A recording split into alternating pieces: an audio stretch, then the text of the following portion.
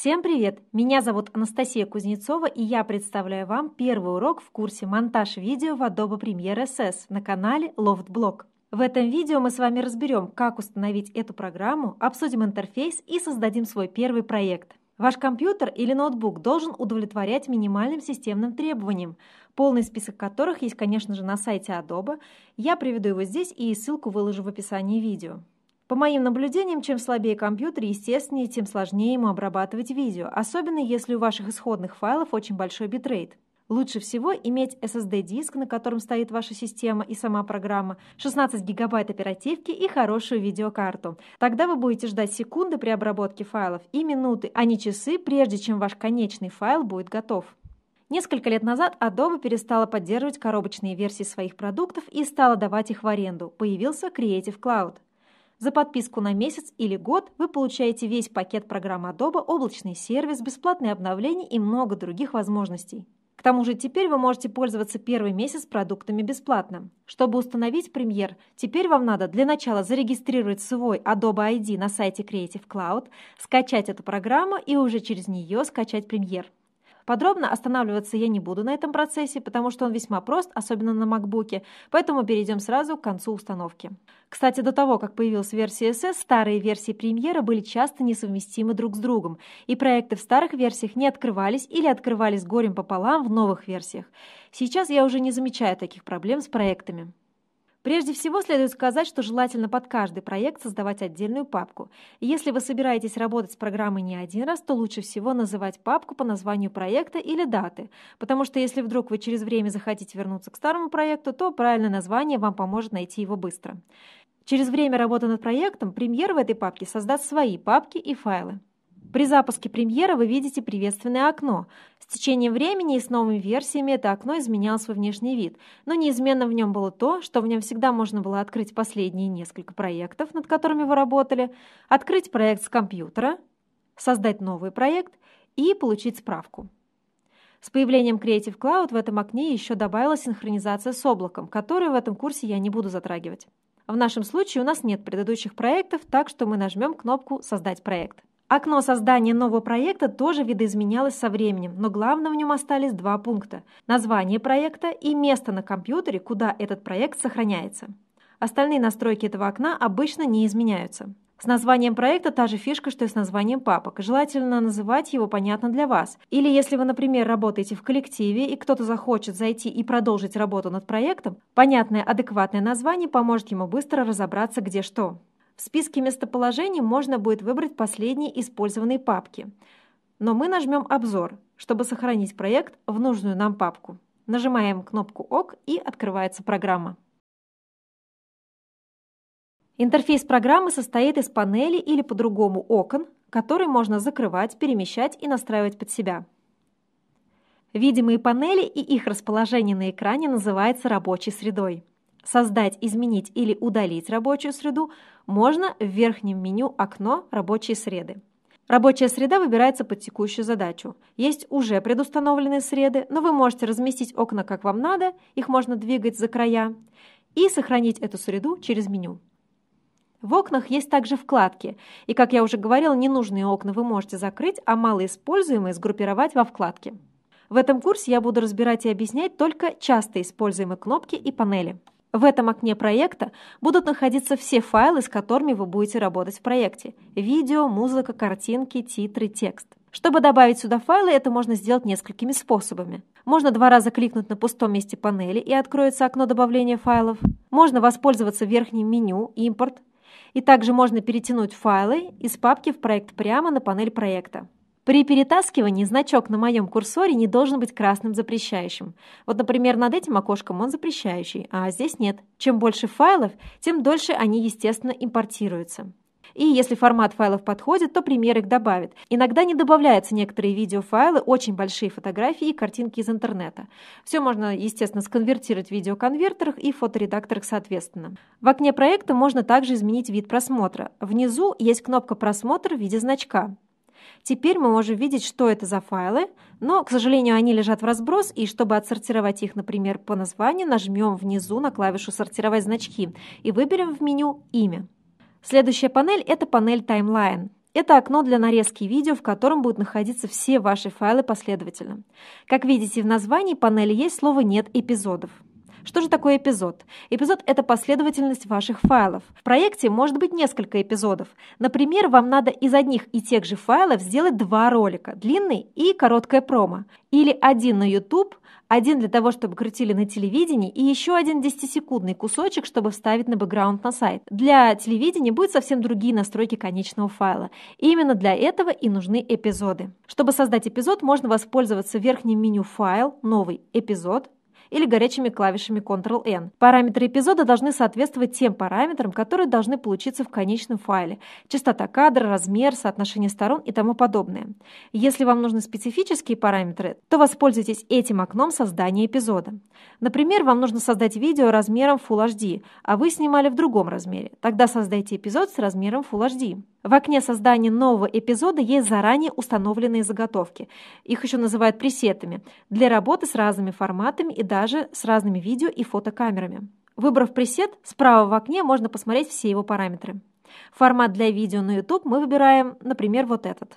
Во второй вкладке Settings можно настроить, например, количество кадров в секунду. Его стоит поставить таким, какое оно в видео, которое вы хотите использовать. Его еще сокращает до аббревиатуры FPS. Чем больше количество кадров в секунду у отснятого видео, тем сильнее его можно замедлить. Например, все мы видели ролики, когда лопается медленно пузырь. Чем больше FPS, тем плавнее будет взрыв. Если FPS меньше 24, то человек заметит неплавные движения объекта в видео. Размеры видео тоже выбираются в зависимости от цели. Например, все современные фотоаппараты и смартфоны снимают в HD 1280 пикселей ширина кадра и 720 пикселей высота кадра. И Full HD – это 1920 на 1080 пикселей. В общем-то, сейчас самым распространенным форматом при съемке и монтаже видео является 720p50. Это HD-формат. 1280 на 720 пикселей и 50 fps. Его можно замедлять ровно в два раза, до 25 fps, и глаз не заметит этого. Формат телевидения PAL имеет 25 fps и размеры видео 720 на 576 пикселей. Кстати, буква P между числами означает прогрессивную развертку. Черестрочная развертка сейчас используется на телевидении, но большая часть людей использует именно прогрессивную P. В уроке про рендеринг конечного видео мы поговорим, что это значит. Бывает, что эпизод, наоборот, должен совпадать с параметрами исходного видео, и чтобы сократить время, можно просто взять видео и перетащить его на пустое место таймлайна, и эпизод с такими же параметрами создастся сам. Эпизод имеет такое же название, как и файл, из которого он создан. Его можно переименовать. Видите, у вкладки теперь другое название. Здесь будут также появляться вкладки и других эпизодов. Эпизод можно создать и по-другому. Можно нажать правой клавишей на клипе и выбрать меню «Создать эпизод на основе клипа». Вот на этих дорожках и будут располагаться ваши видео. Давайте перетащим сюда еще парочку видео и аудио. Этим главным ползунком вы управляете просмотром видео. Вы можете его передвигать, и в этом окне главного просмотра вы увидите текущий кадр видео. Мы еще не раз будем использовать этот ползунок при монтаже. Наверху окна таймлайн есть текущее время. Вы можете его изменять, если вам надо перескочить в какой-то определенный кадр, например, на десятую секунду. Как вы видите, при перенесении первого видео создалось три видеодорожки и три аудиодорожки.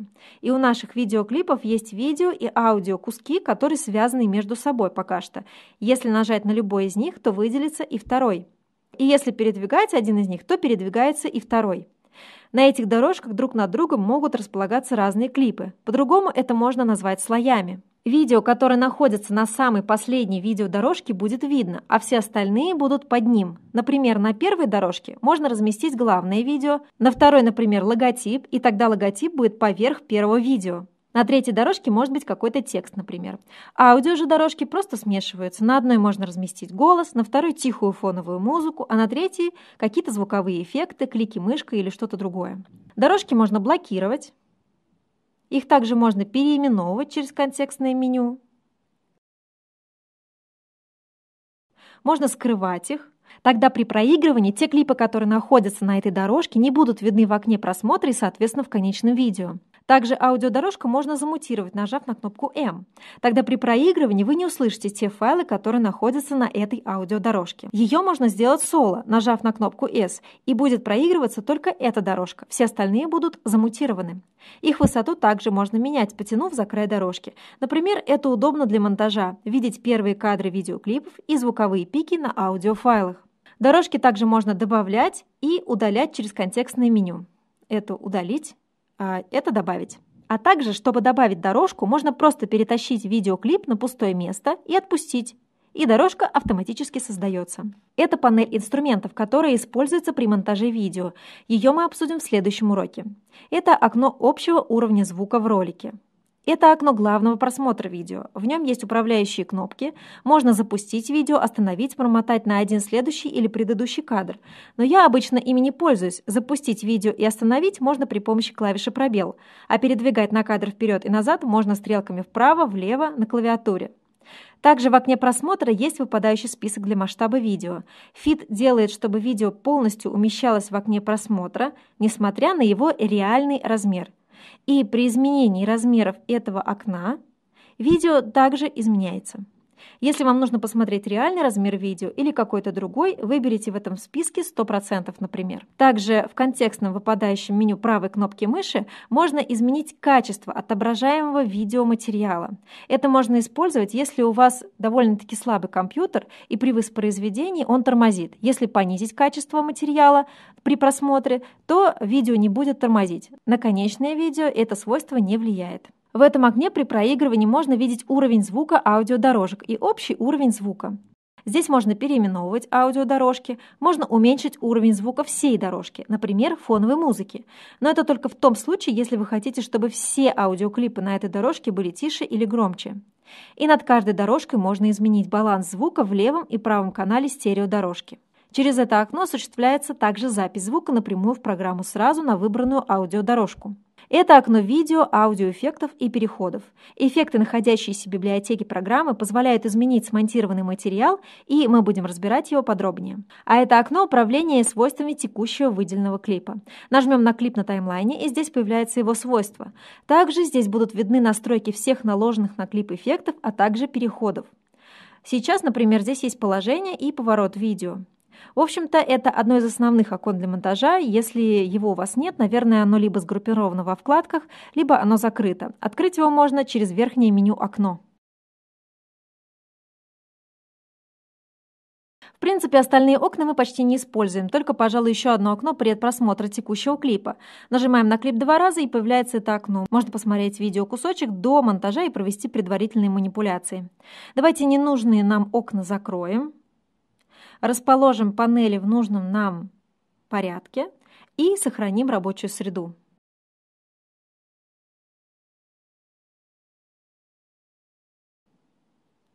Верхнее меню мы с вами обсудим по ходу дела, когда будем к нему обращаться в уроках. Сейчас можно только воспользоваться меню «Файл» и сохранить данный проект, или есть на это горячая клавиша Ctrl-S. Вообще в премьере очень много горячих клавиш, которые сильно ускоряют вам монтаж и работу. Полный список есть на сайте Adobe, ссылка будет в описании видео. Я призываю вас с самого начала привить себе привычку пользоваться ими. Это реально помогает.